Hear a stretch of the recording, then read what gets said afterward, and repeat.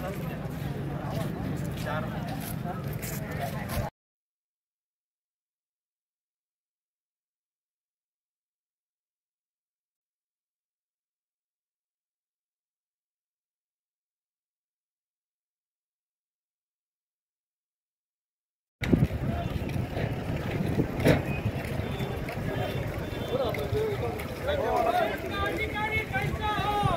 is up,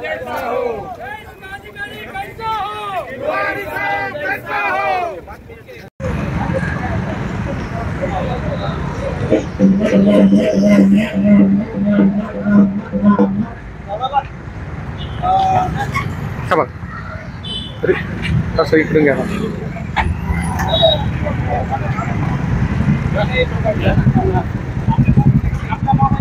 आणि येऊन जायचे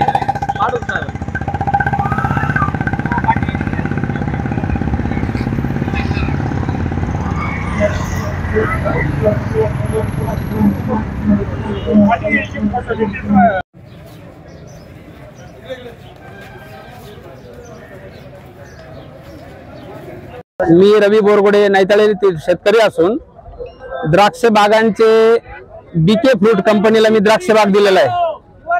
तर अशा अनेक शेतकऱ्यांना बीके फ्रूट कंपनीने फसवलेला आहे आणि चेक दिलेले आहे. लाखो रुपयाचे चेक दिलेले आहे. आणि तो गेले सतरा अठरा महिन्यापासून फसवतोय. आणि आम्ही बँगलोर पर्यंत गेलो तर त्याच्या टमाट्याच्या कॅरेट निर्मितीच्या कंपन्या अब्जावधी रुपयाची त्याची प्रॉपर्टी बघून आलो. पण तरी तो इकडं आपले बांगलादेशात पैसे बुडाले म्हणून शेतकऱ्यांना पैसे देण्यास टाळटाळ करतोय. आणि पिंपळगाव मधले काही लोकही असे दोन तीन जण तर ते तोडपाणी करते पन्नास टक्के घ्या आणि पन्नास टक्केला सटका बाजूला नाही तर तुम्हाला मार्केटमध्ये आल्यावर का हे करू ते करू अशी दमबाजी करताय. तर तिवारी साहेबांसारख्यांकडे आम्ही गेलो आणि त्यांना या गोष्टी सांगितल्या. सगळे शेतकरी गेलो आम्ही.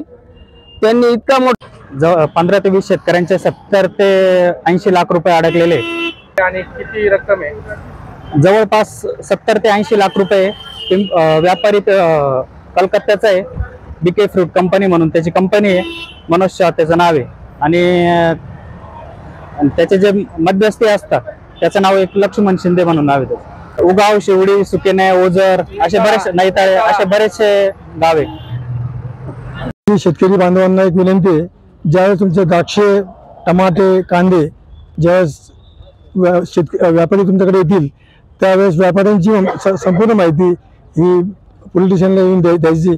आणि ते त्याची जी संपूर्ण जी आता मी जे फॉर्म बनवणार आहे त्या फॉर्ममध्ये माहिती भरून द्यायची जेणेकरून शेतकऱ्याची फसवणूक होणार नाही. आणि त्यांचे जे व्यवहार आहेत व्यवहार ते इतर पायलट मार्फत होतात. ते पण आपण त्या पायलट लोकांना त्यांची माहिती आमच्या अद्ययावत अद्यावत ठेवून पायलट पायलट लोकांवर अंकुश होईल आणि शेतकऱ्यांचा आज दरवर्षी लाखो रुपयाचे नुकसान होतं. शेत व्यापारी लोक परप्रांतीय व्यापारी प- पैसे घेऊन पळून जातात.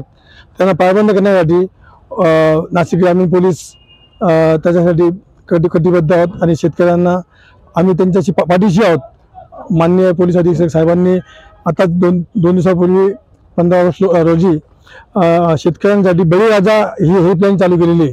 ज्या शेतकऱ्यांना काही तुमच्या अडीअडचणी असतील त्या हेल्पलाईनच्या माध्यमाद्वारे आम्हाला संपर्क करावा अशी मी शेतकऱ्या बांधवांना विनंती करतो. जय हिंद जय महाराष्ट्र.